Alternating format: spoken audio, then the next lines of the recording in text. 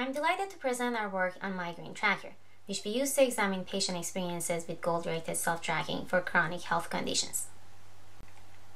Self-tracking is of great value in managing chronic conditions as it allows observation of symptoms beyond the clinical settings and in closer relation to the day-to-day -day treatments and contributors. This is especially true when symptoms occur over time and are not amenable to clinical testing, as is the case with migraines. Self-tracking is, however, not easy to do. One challenge is to decide on the data to track. People may not know where to start or what is relevant to track. This leaves many people too overwhelmed to even start tracking.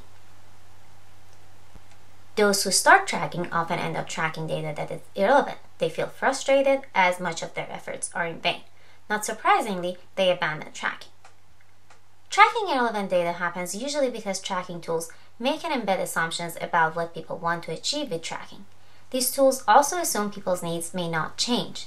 These assumptions are typically misplaced, but people have little recourse for adjusting them.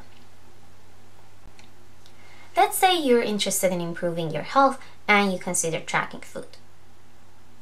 You find a food tracker and it asks you to record calories. Well, calories are interesting to know about, but what you really care about is whether you're eating balanced meals, and that has nothing to do with the count of calories. You may even want to know calories at first, but you may later want this other piece of information about balanced meals. Unfortunately, the tool does not support your need as it assumes everyone wants to always know about calories. Another challenge in self-tracking is to connect the track data to one's needs. Even when track data is relevant, there are barriers translating them to insight. In keeping with our previous example, let's say you care about count of calories and the tool shows your calorie intake over time. But what you specifically wonder about is if you consume more calories when stressed. You have the data, but no easy way of interpreting it as it relates to your goal. I want to note that deciding what to track and gaining relevant insights is even more challenging in self-tracking for managing conditions such as migraine because there is a lot of variation from one person to another. Okay, there are these challenges. What can we do about them? Well, we can explicitly account for goals in self-tracking tools.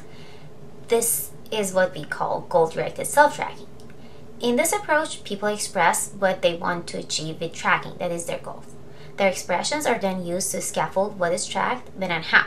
The expressions also drive preparation and presentation of data for interpretation. Let's see what this all means with Migraine Tracker, an app for self-tracking migraines. The first thing people are asked to do when they want to use the app is to express their goals. For example, they can say they want to learn about migraine contributors. They are then asked to decide which symptoms and contributors are relevant. Let's say they selected the stress. They are asked to articulate what they want to learn about the stress as a more fine-grained goal. They then choose how they want to record the stress accordingly. For example, that they want to know if they get more migraines when they are stressed or if the levels of stress changes the severity of their migraines. They configure the app according to their goal and collect exactly and only the data that addresses those goals. Now, the question is whether and how this approach works. From Jesse Schroeder's work, we know setting up tracking around goals improves preparation stage of tracking when people plan on what to track and how. What remains to establish is whether the benefits extend to other stages of tracking, when people collect and integrate data, reflect on it, and take actions. This is the focus of our study using Migraine Tracker. Specifically, we establish whether people can successfully use and adjust a goal-based tracking setup, if they can more easily gain insights from the data, and how they act upon the insights. To answer these questions, We did a longitudinal study of migraine self tracking with 10 patients and their three clinicians as they used the migraine tracker for over 12 months on average. For patients who met the screening criteria, we first asked about MEES and prior self tracking experience in the initial interview. We also helped them configure migraine tracker app at this step. They started using the app as soon as they had a configuration in place. Patients next reviewed their setup with their clinician. We then asked patients about their experience using the app and obtained their feedback on goal appropriate data summaries and visualizations in mid tracking interview session. We did this again in end of tracking interview right before the final meeting between patients and clinicians when they met with their clinician for the second time to review their data and material. This step concluded the study, although some patients continued using the app after this step. What did we find? Briefly, with explicit goal expressions and scaffolding based on these expressions, patients were able to decide what to track and successfully align tracking to their needs. They were also able to recognize when and how to adjust their tracking. Their efforts led to relevant and useful knowledge that helped them better understand their condition and prepared them to discuss care with their clinicians and seek expertise when they most uh, needed it. They overall felt they took better care of themselves. Before I further unpack these findings, let me introduce a useful terminology. The observed patients had different types of goals. There were tracking goals that a specific tracking setup achieved, for example, presence of migraine or duration of sleep. There were information goals, the questions people wanted to answer with tracking. For example, what was the monthly migraine frequency? There were also management goals. These were often the desired health states to achieve, for example, improved symptoms. Constraints or values to meet fell under this class too things like availability of medication or funding agency. Another case of management goals were self regulating behaviors, for example, holding oneself accountable to exercise. There is no strict sequencing among goal types from tracking to information to management, so we connect them by double arrows. Tracking goals usually but not always support management goals through information goals. For example, records of migraine presence support information goal of monthly migraine frequency and subsequently the management goal of improvements in symptoms. Here, data from tracking matters. In the case of recording exercise days to encourage regular physical activity, there is no information goal involved, and data from tracking does not matter much. I have shown one-on-one relations in these examples for simplicity, but in reality, goals often overlap. For example, a single tracking goal supported multiple information goals. In the remaining time, I use this terminology to cover three aspects of our findings. Evolution of goals, alignment of different goals and elements of tracking, and reflection as the driving force of goal evolution. Please refer to the paper for the other findings that highlight the role of goals in personalization and demonstrate the benefits they bring to taking actions. Starting with goal evolution. Patients all pursued multiple goals that evolved over time. Some goals were resolved, for example, when someone learned alcohol is not a contributing factor. Some other goals were refined, for example, when someone sought the length of treated migraines instead of total length of migraines. Sometimes goals were deprioritized or completely abandoned. Some other times, new goals became relevant. This resolution, refinement, or abandonment of goals or initiation of new ones happen across goal types. The changes were separate but often related. For example, when information goals were achieved, their associated tracking goals were abandoned unless they supported other new or existing information management goals. Or knowledge around existing goals informed refined or new goals to follow up. Pursuing multiple evolving goals also meant people were at different stages of tracking for different goals. They achieved one goal but needed to continue others or start new ones. They paused one goal and resumed another.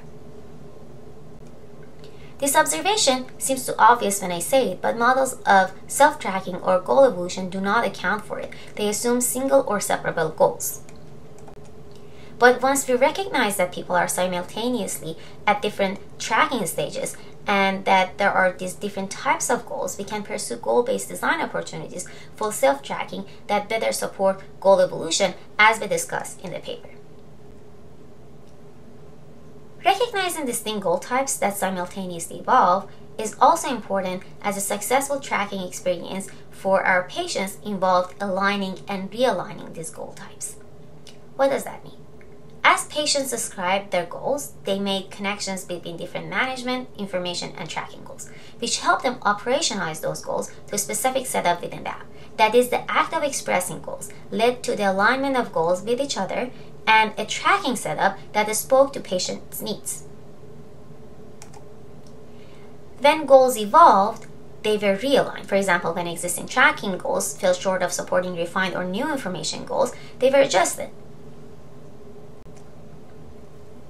There was more to align than just goals for successful tracking. What do I mean by that? It was also important to use data models and tracking models in concert with goals.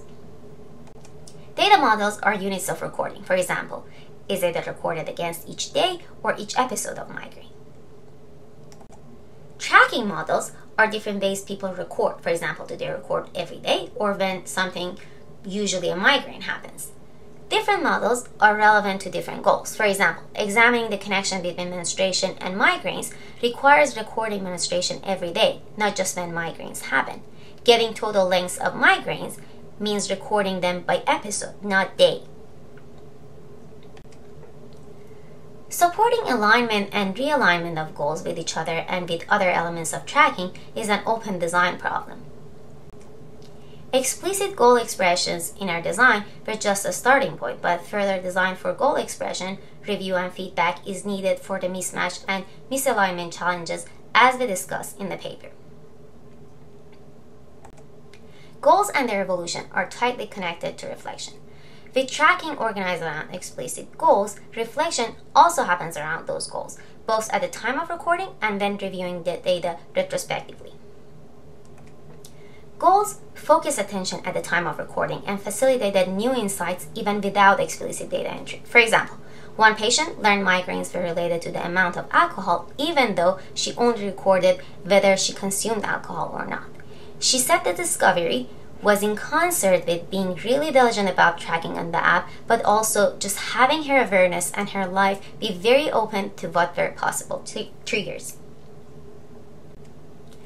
When retrospectively reviewing data around information goals, patients often describe patterns. They then try explaining them in relation to treatments or contexts such as events or habits, especially when the patterns indicated a breakdown between patient's existing understanding and data. This inquiry sometimes expanded into considering multiple explanations, defining new concepts, and forming new hypotheses. This is all great. We do expect this to happen when people reflect. As people consider different explanations and hypotheses, they refine their information goals or form new and often more complex ones that they had not previously considered. That is, their information goals evolved. They then align these refined or new information goals with tracking goals, tracking models, and data models. This reflection and realignment process led them to realize if they needed additional data or if they needed to seek additional expertise from their clinician or their research team. This means the reflection process provided a mechanism for goal evolution, and we can support goal evolution by enabling different elements of reflection, such as concept definition, hypothesis formation, or hypothesis examination. To summarize, we examined patient experiences with goal directed self tracking for managing chronic conditions and learned of the importance of recognizing and designing for distinct goal types that overlap and evolve. Models of personal informatics should account for multiple goals in chronic condition management. Designs with explicit support for goal expressions can facilitate the alignment, adjustment, and realignment of goals as well as tracking and data models. They can also assist reflection, which itself enables goal evolution.